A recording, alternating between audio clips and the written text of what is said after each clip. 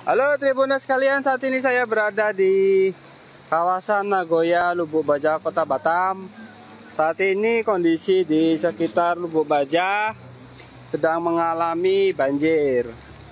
Ini adalah Jalan Imam Bonjol, jadi bisa disaksikan di sini kondisi banjir. Saat ini juga petugas polisian karena apa? Genangan air cukup tinggi, maka petugas kepolisian mengalihkan arus kendaraan agar tidak melintas di jalan yang sedang banjir atau mengalihkan dari Hotel Gede Lama.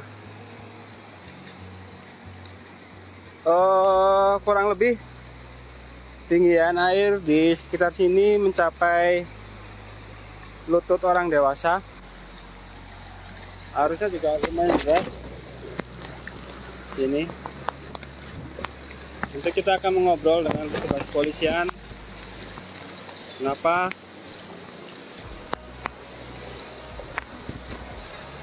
eh, pengendara dialihkan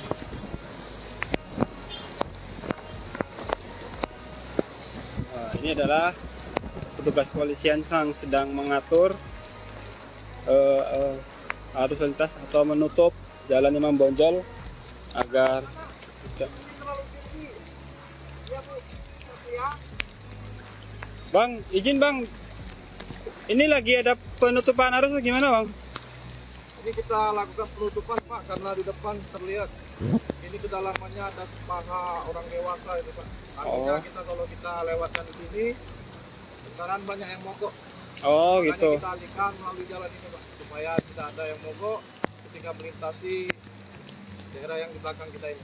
Dari dari jam berapa nih bang? Ini sekitar tadi. Dari jam 11?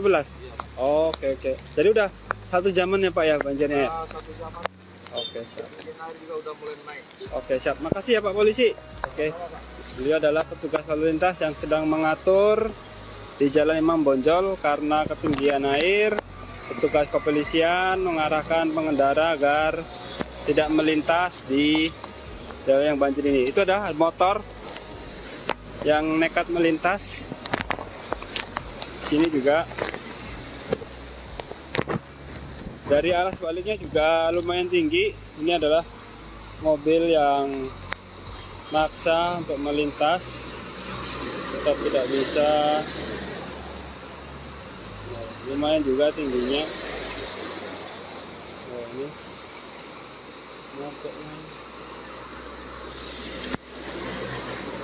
Ini yang memaksa jadi jadi warga yang akan melintas di Jalan Iman Bonjol agar lebih memilih jalur lain karena di sini sedang ada eh, banjir lah. Lumayan tinggi juga kalau kendaraan memaksa untuk melintas di sekitar sini. Kalau di sini memang ti- tidak seberapa tingginya, nanti kalau terus ke sana eh, akan cukup tinggi. Oke, Tribuners, cukup sekian pantauan arus lalu lintas eh, saat terjadi banjir di Jalan Imam Bonjol, Kota Batam.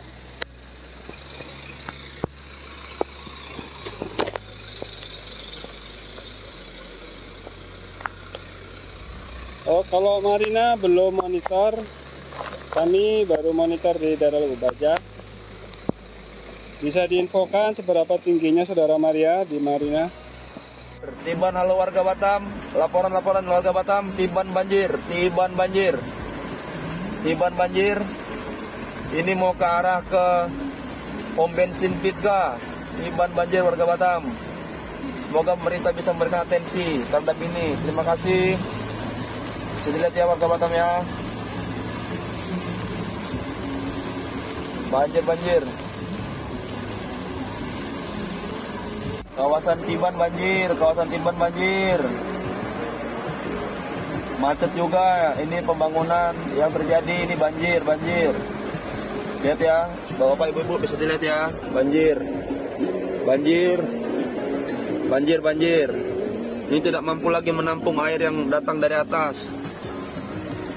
Oke, tengok ya, ini laporan dari saya warga, banjir. Banjir, banjir.